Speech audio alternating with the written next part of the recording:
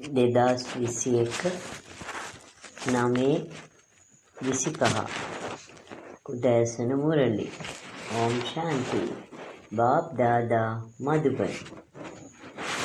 සාරය සුමිහිරි දරුවනි දැන් ඔබ දේවත්වයේ අලුත් රුධිරය ලබා තිබෙනවා. ඔබ බොහෝ කුල්මත් වූ සිතින් කතා පැවැත්විය යුතු අතර ශිව බාබා ඔබට උගන්වනවා යන කුල්මත් භාවයක් තබාගත යුතු වනවා. ප්‍රශ්නය ඔබගේ ඉලක්කය හා අරමුණ පිළිබඳ වූ සදාකාලික කුල්මත් භාවයක් තබා ගැනීම නම් ඔබ විසින් යොදා ගත යුතු ක්‍රමය කුමක්ද? පිළිතුර රාජධානිය වෙත යාමට අවශ්‍ය වන ගමන් බලපත්‍රය ඔබ ළඟ තබා ගන්න. පහලින් ඔබගේ සාමාන්‍ය පින්තූරයකුත් ඊට ඉහළින් ඔබ රාජකීය තත්ත්වයේ ඇඳුමුන් සැරසුණු පින්තූරයකුත් ඊටත් ඉහළින් ශිව බාබා තබා ගන්න. එවිට ඊටමත් පහසුවෙන් ඔබට ඔබගේ ඉලක්කය සහ අරමුණ ඔබගේ ආකල්පය මත තබා ගත හැකි වෙනවා. සෑම විටකදීම ඔබගේ සාක්කුව තුළ ඔබගේ ගමන් බලපත්‍රය තබා ගන්න. මායාගේ කුණාටු එන විට ඔබට සිතෙයි ඔබගේ ගමන් බලපත්‍රය අවලංගු වී දිව්‍ය ලෝකයට යාමට නොහැකි වෙයි කියා. ගීතය ඔහු රාත්‍රියේ සංචාරකය වෙහෙසට පත් නොවන්න අරුණෝදය වෙත තව ඊතරම් දුරක් නැත.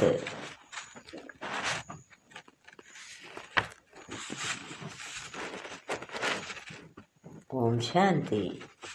දරුවන් මෙම ගීතයේ අර්ථය වටහා ගත්තා. දැන් භක්ති මාර්ගයේ ඒ ඝන අන්ධකාරය අවසානයට පැමිණ ඇත. දරුවන් දන්නවා මරණය දැන් ඔබ ඉදිරියට පැමිණිය නොහැකි බව. අප මෙහි අසුන්ගෙන සිටියත් අපගේ ඉලක්කය හා අරමුණ වන්නේ සාමාන්‍ය මනුෂ්‍ය තත්ත්වයෙන් දේවතාවන් බවට පත්වීමයි. සන්‍යාසීන් මිනිසුන්ට කියනවා ඔබ තමන් මීහරකෙක් කියා සිතුවොත් ඔබ එම ස්වරූපය ගන්නවා කියා. රාමා වඳුරන්ගේ හමුදාවක් ගෙනවිත් භාරතයේ රාවන්ගෙන් මුදවා ගත්තා යැයි පැවසෙන උදාහරණය වැනිම වූ භක්ති මාර්ගයේ තවත් එක් උදාහරණයක්. ඔබ මෙහි අසුන්ගෙන සිටින අතර ඔබට වැටහෙනවා ඔබගේ අනාගතයේදී ඔබ ඔටුනු යුගලකින් යුතු වූ දේවතාවන් බවට පත්වන බව.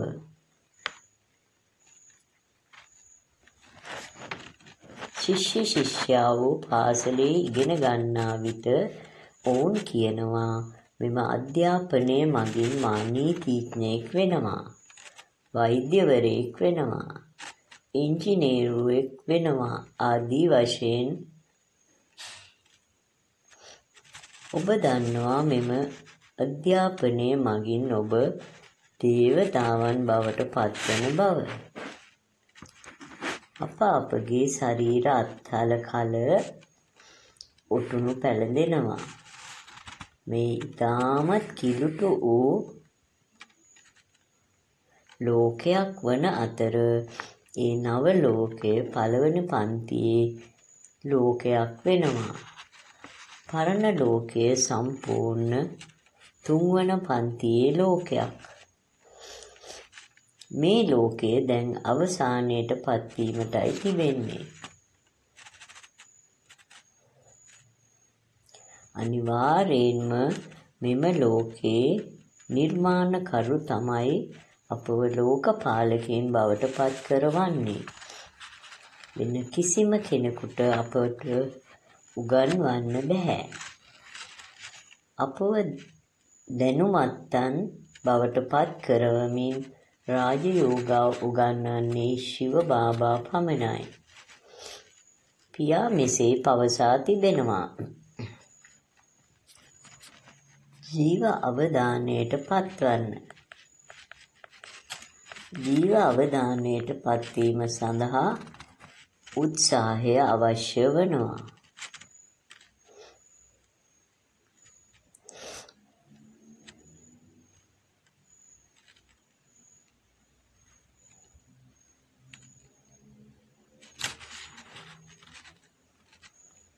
ජීව අවධානයට පත් වූ පසු ඔබට තවත් අවශ්‍ය වන්නේ මොනවාද? කෙසේ හෝ ඔබ බ්‍රහමින් දරුවන් වන අතර දැන් දේවත්වයට පත්වෙනවා. එම තත්ත්වයට පත්වීම පිළිබඳ වූ කුල්මත්භාවයක් ඔබ තුළ තිබෙනවා.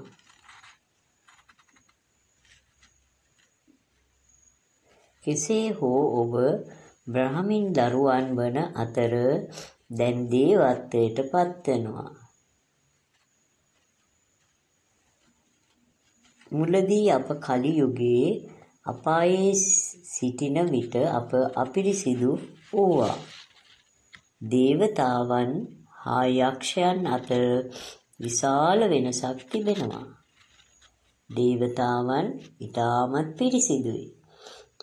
මෙහි මිනිසු ඊටමත් අපිරිසිදුයි.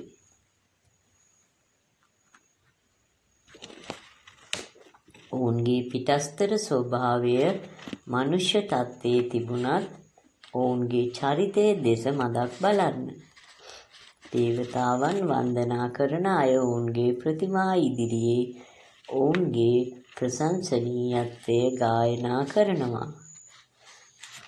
ඔබ ගුණාංග වලින් පරිපූර්ණ වන අතර අප තුල කිසිම ගුණාංගයක් ඇත්තේ නැහැ.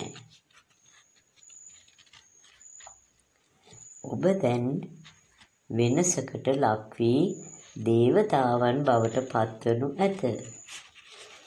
ඔබ ක්‍රිෂ්ණා වන්දනා කරන අතර එම නිසා ක්‍රිෂ්ණාගේ දේශයටත් යාමට හැකි වෙනවා.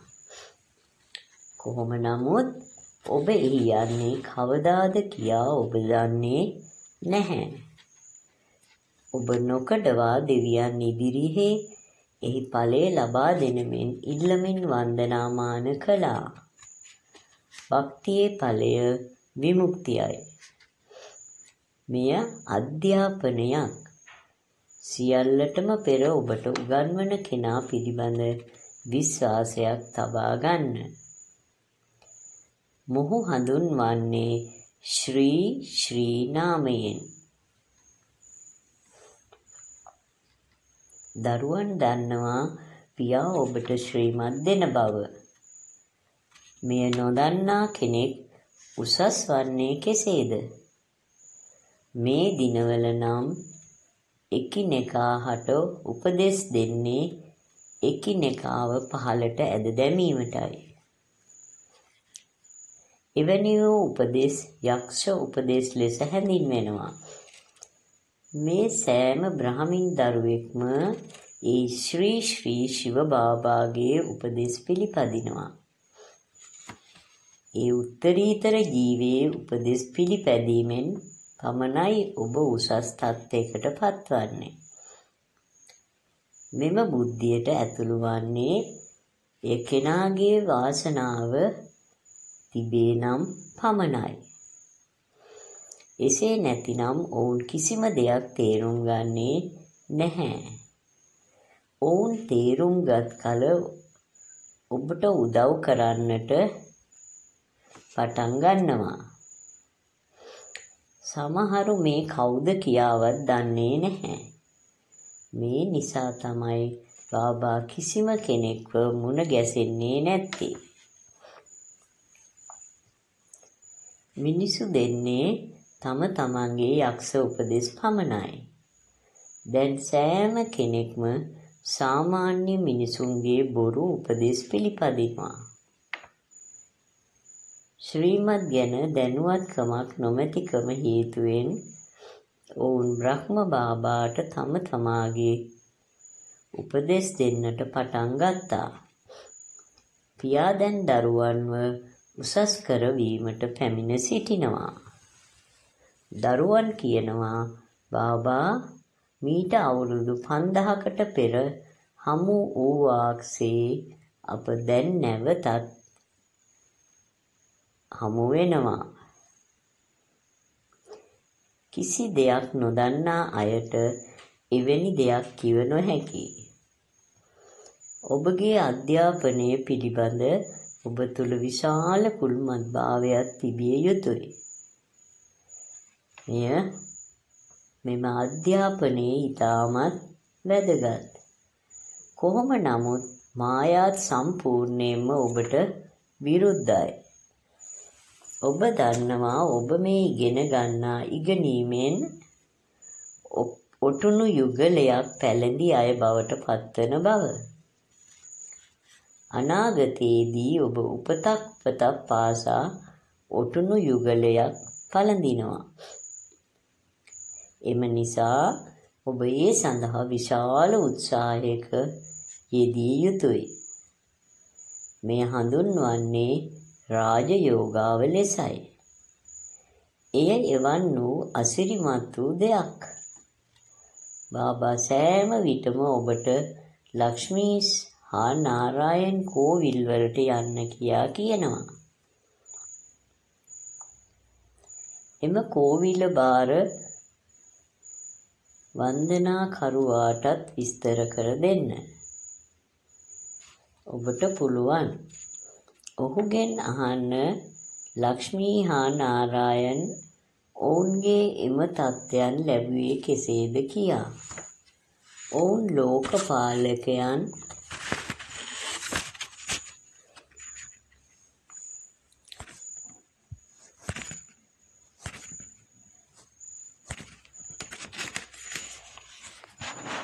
බවට පත්වූයේ කෙසේද?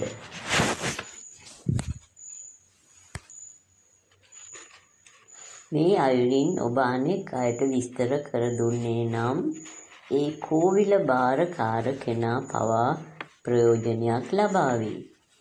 ඔවුන්ට මෙසේ කිව හැකියි.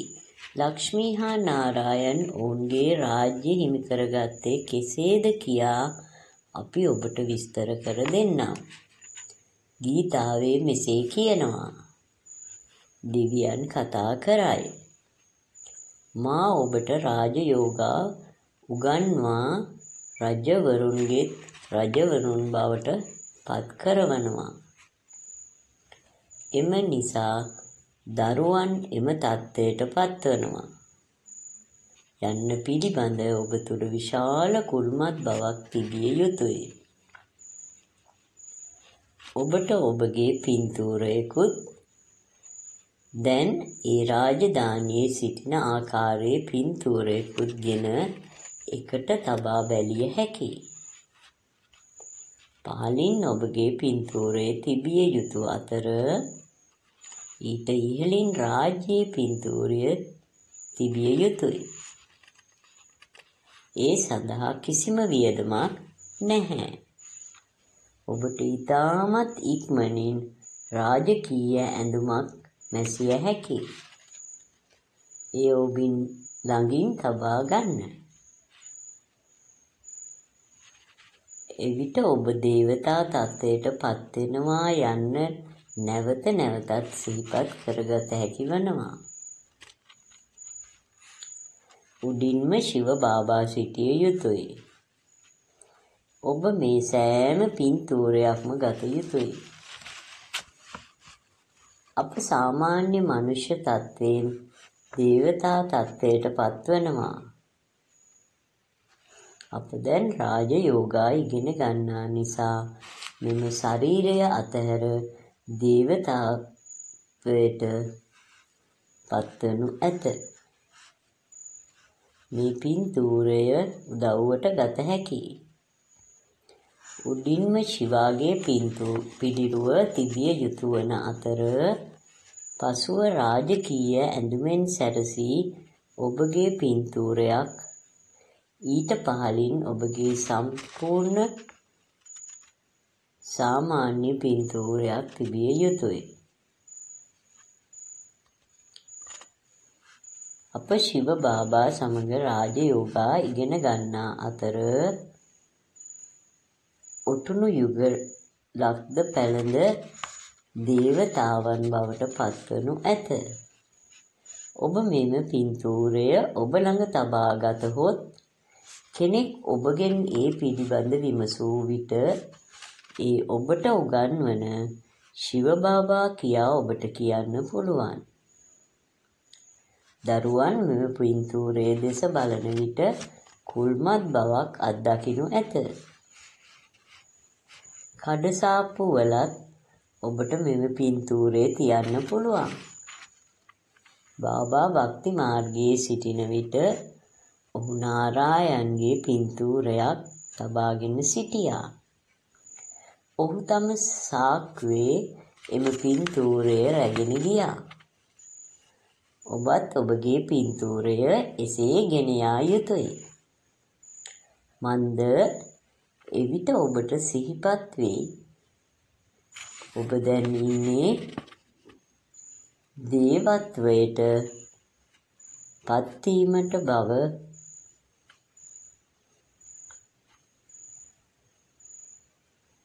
ඔබ උත්සාහ දරා පියා සිහිපත් කිරීමට මාර්ගයක් සෙවිය යුතුය. පියාව සිහි කිරීමට අමතක කළ විට තමයි ඔබ වැටෙන්නේ. ඔබ පාපයට වැටුණු පසු තමාට දේවත්වයට පත්වීමට නොහැකි බව දකිමින් ඔබ ලජ්ජාවට පත්වේ. එවිට ඔබ හෘදාබාධයක් සැදී මෙසේ සිතයි. මම දැන් දේවත්වයට පත්වන්නේ කෙසේද? බාබා කියනවා පාපේ ගැලෙන අයගේ පින්තූර ඉවත් කරන්න. ඔවුන්ට කියන්න ඔබලා දිව්‍ය ලෝකයට යාමට තරම් ශක්තිමත් නැත.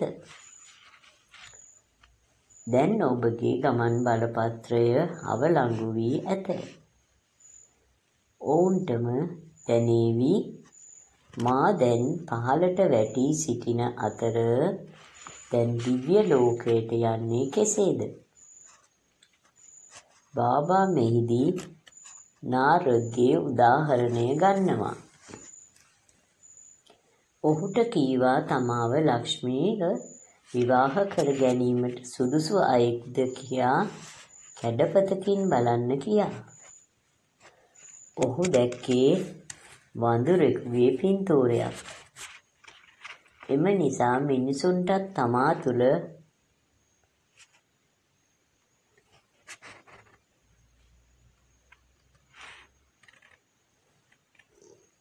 පාපයක් තිබෙන නිසා ශ්‍රී ලක්ෂ්මී හෝ ශ්‍රී නාරයන් හා විවාහ වීමට තරම් තමා සුදුසු නැතැයි කියා ලැජ්ජා සිතේවි. බාබා ඔබට නොයෙකුත් මාර්ග පෙන්වා දෙනවා. කොහොම නමුත් ඔබ තුල මෙම විශ්වාසයක් තිබිය යුතුය. ඔබ පාපයෙන් කුල්මත්ව සිටින විට තමාට ඒ ඔටුනු යුගලයක් පැළඳි රජවරුන්ගෙන් රජවරුන් බවට පත්වීමට නොහැකි බව ඔබට වැටහෙනවා.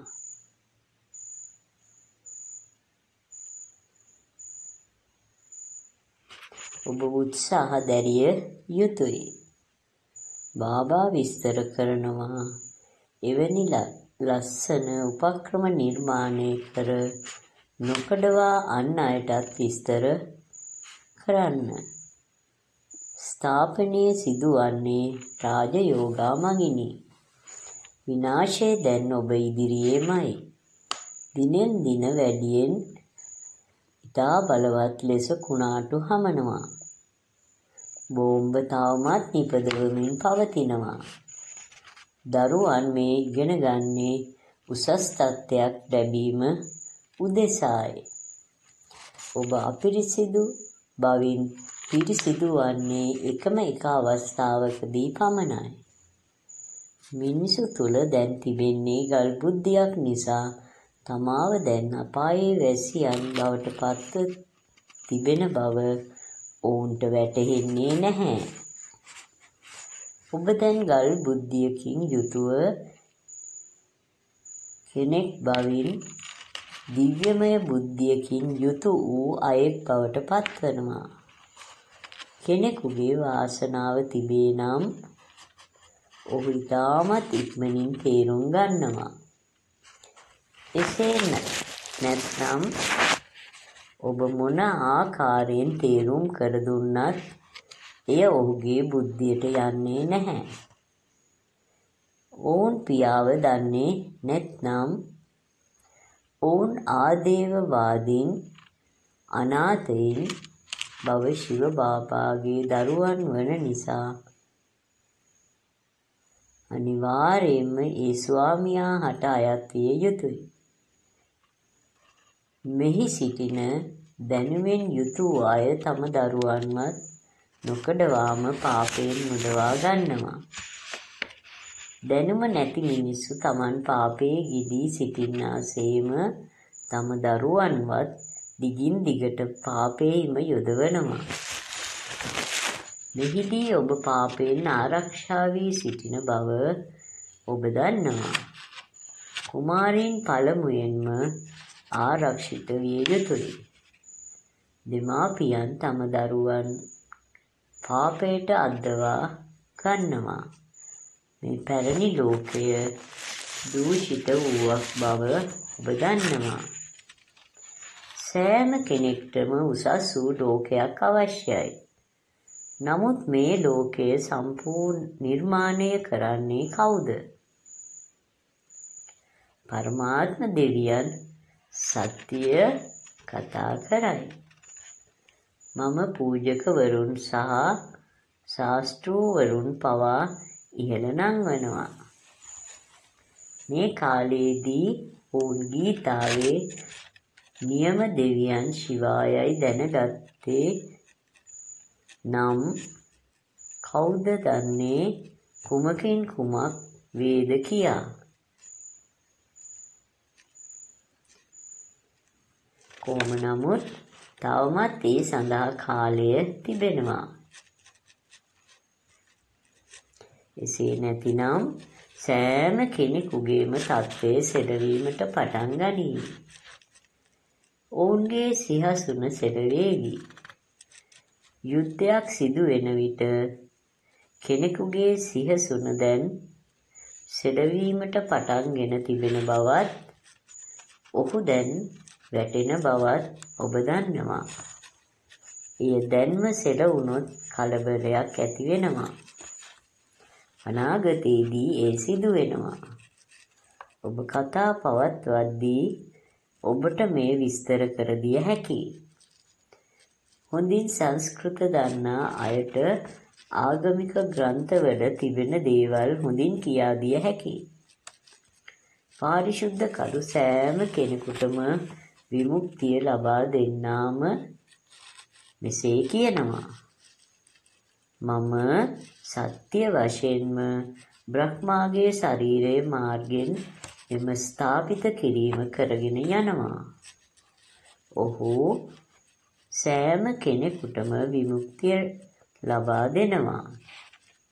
ඒ කියන්නේ ඔහු සෑම කෙනෙකුම උසස් කරවනවා.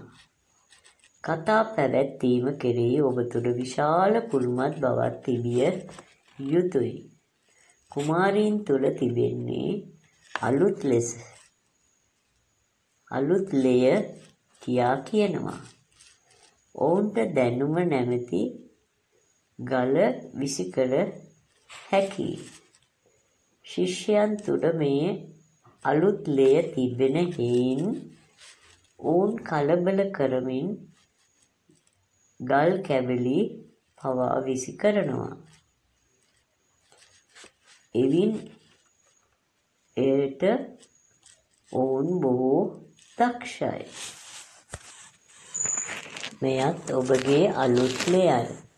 ඔවුන් බොහෝ සෙයින් තුවාල කරන බව ඔබ දන්නවා. මෙය තමයි ඔබගේ දේවත්වයෙන් යුතු වූ අලුත් ලෙය. ඔබ පරණ බවින් අලුත් වනවා. පරණ කලියුග තත්ත්වයට පත්ව ඇති ජීවයන් වන ඔබ දැන් අලුත් සත්විව ජීවයන් බවට පත්වෙමින් සිටිනවා. දරුවන් තුළ මේ පිළිබඳ විශාල ආශාවක් තිබිය යුතුයි. සෑම විටම ඔබ කුල්මත්ව සිටිය යුතුයි. ඔබ හා සමව සිටින අයවත් ඉහළ නැංවිය යුතුයි. මෙහිදී මව වූ ගුරුවත් සිහිපත් වෙනවා.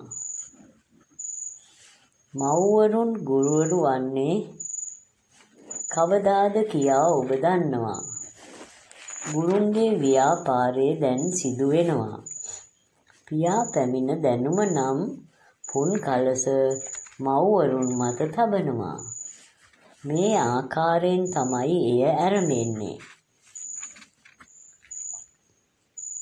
සමහර මිනිසුන් කියනවා ඔවුන්ගේ මධ්‍යස්ථානයට බ්‍රහ්මෙන් ගුරුවරයෙක් එවන්න කියා. බාබා කියනවා ඔබටම පුළුවන් ඔබගේ මධ්‍යස්ථානය ගෙන යන්න. එවිට ඒ සඳහා තමාට අවශ්‍ය තරම් ධෛර්යයක් නැති බවත් අම්මා කෙනෙක් අනිවාර්යයෙන්ම අවශ්‍ය බවත් ඔබ පවසනවා. මව්වරුන්ට ගෞරව කිරීම හොඳයි. මේ දිනවල ලෝකයේ තිබෙන්නේ පිටින් පෙන්වන ගෞරවය පමණයි. කිසිම කෙනෙක් සදාකාලික වූ ගෞරවයක් ලැබෙන්නේ නැහැ. මේ කාලයේදී දරුවන් ඒ සදාකාලික වූ වාසනාවේ රාජ්‍ය ලබනවා. පියා ඔබට නොයෙකුත් ආකාරයෙන් විස්තර කර දෙනවා. බාබා ඔබට තමාව නිරන්තරයෙන් උද්‍යෝගයෙන් තැබීම සඳහා නොයෙක් ආකාරයේ හොඳ උපක්‍රම කියා දෙනවා. ලක්ෂ්මී හා නාරයන් බවට පත්වීම සඳහා ඔබ තුළ සැම විටම සුභ ප්‍රාර්ථනා තිබිය යුතුයි. කෙනෙකුගේ වාසනාවේ මෙය නැතිනම් ඔහු දරන උත්සාහය කුමක්ද? ඔබ කළ යුතු උත්සාහය කුමක්ද යන්න ඔහු ඔබට කියනවා. උත්සාහය කිසිවිටක අපතේ යන්නේ නැහැ. එය සෑම විටම ප්‍රයෝජනවත් වෙනවා. රාජ්‍ය ස්ථාපිත වන අතර මහා භාරත යුද්ධය මගින් විනාශයත් අනිවාර්යයෙන්ම සිද්ධ විය යුතුය.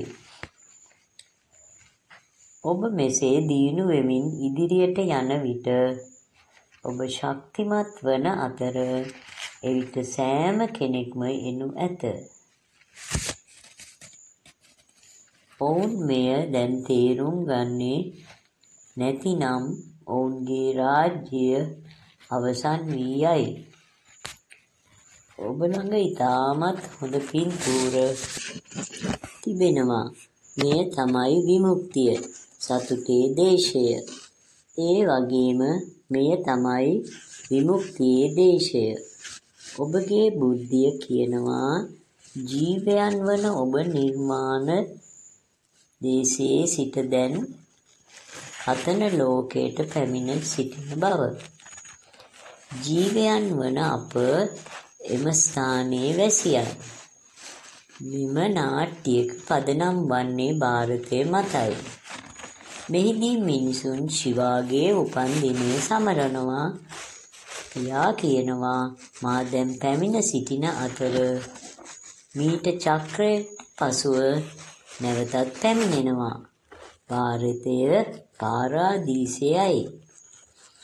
ක්‍රිස්තුන් වහන්සේගේ පැමිණීමට වසර බොහෝමයකට ප්‍රථම මෙහි පාරාදීසයක් තිබුණා කියා කියනවා.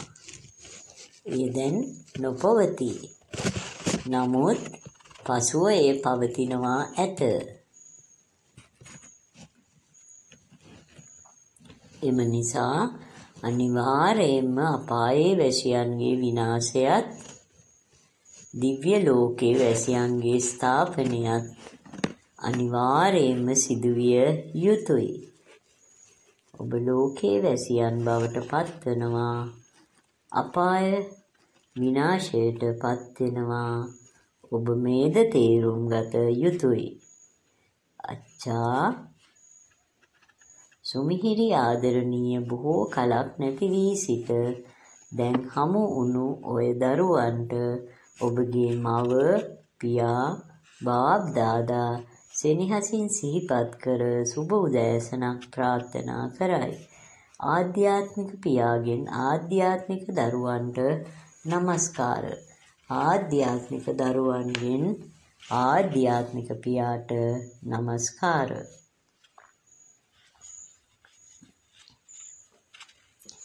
ධාරණයේ සඳහා සාරාංශය 1 සෑම කෙනෙකුටම සුබ ප්‍රාර්ථනා කරන්න. සෑම කෙනෙකුටම නියම ගෞරවය දෙන්න. ඒ සත්‍යුග අධිරාජ්‍යයේ උසස් තත්ත්වයක් ලැබීමට උත්සාහ කරන්න. දෙක ජීව අවධානයට පත්වීමට උත්සාහ දරන්න. සාමාන්‍ය මිනිසෙකුගේ උපදෙස් පිළිපැදීම අතහැර එම ඒකායන කෙනාගේ උපදෙස් පමණක් පිළිපදින්න. ඔබගේ අධ්‍යාපනය පිළිබඳ වූ කුල්මත් බව දිගින් දිගටම තබා ගන්න.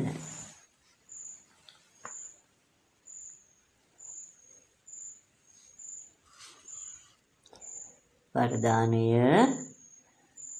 ඔබගේ ගෞරවය ලබා දීමේ වාර්තාව